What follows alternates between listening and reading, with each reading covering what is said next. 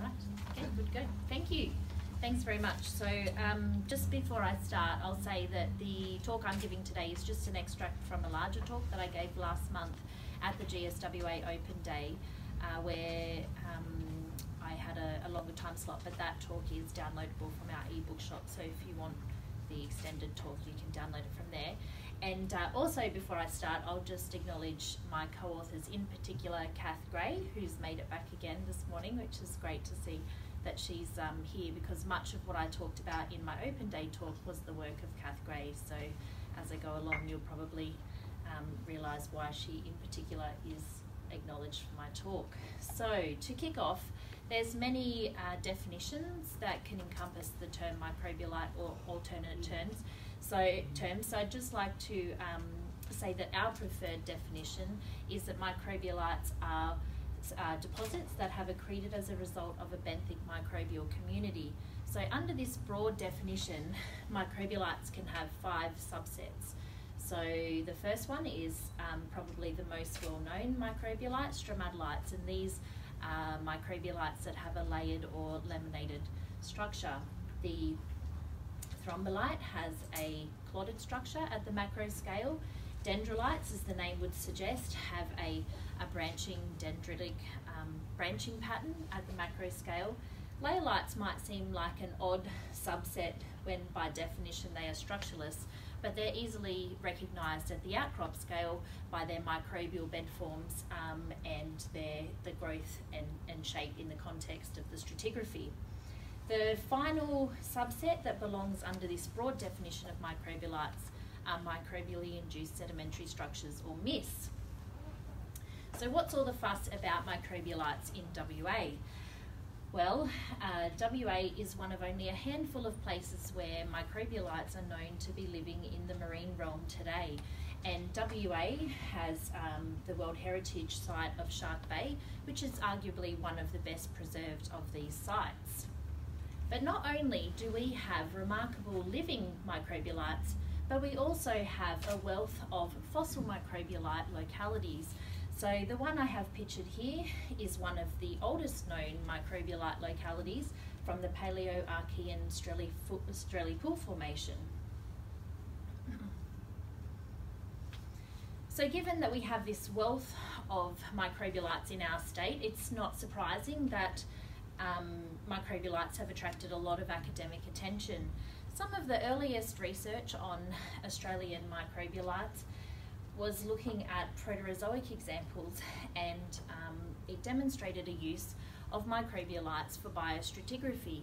If you describe microbialites from the outcrop down to the micro scale in a systematic way, um, you can actually use them for biostratigraphy. Now, there's been a changing focus of microbialite research over time.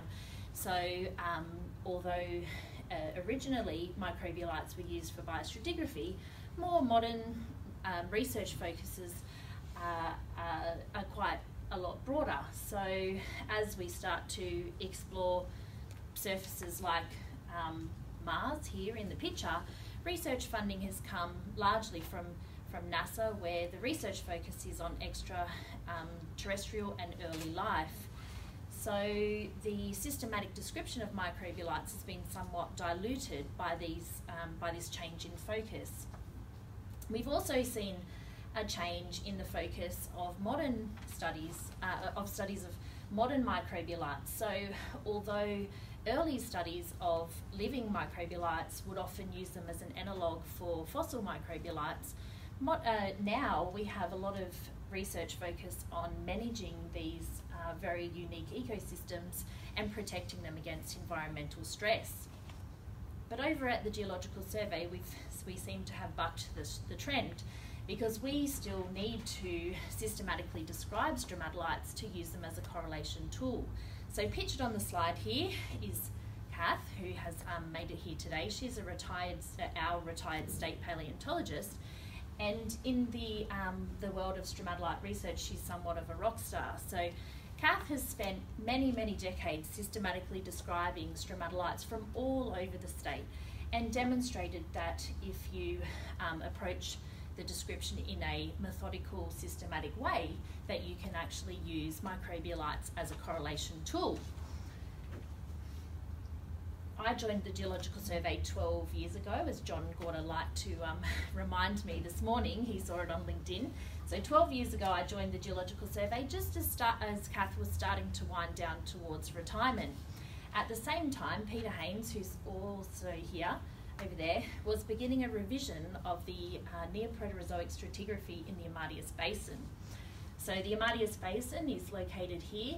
It's a central basin it's a central Australian basin, and the majority of the basin is located in the Northern Territory, with only a very small portion of it uh, extending over the border into WA. It has Neoproterozoic stratigraphy that ranges from Tonian to Cambrian in age.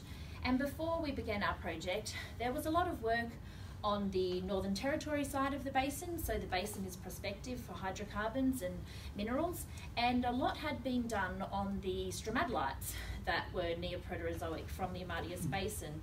So in the NT, they were known and stratigraphically documented, but the stromatolites that were known from the Western Amadeus were only um, forms that were locally known from WA and there had been no biostratigraphic correlation from the western portion of the basin to the eastern part of the basin.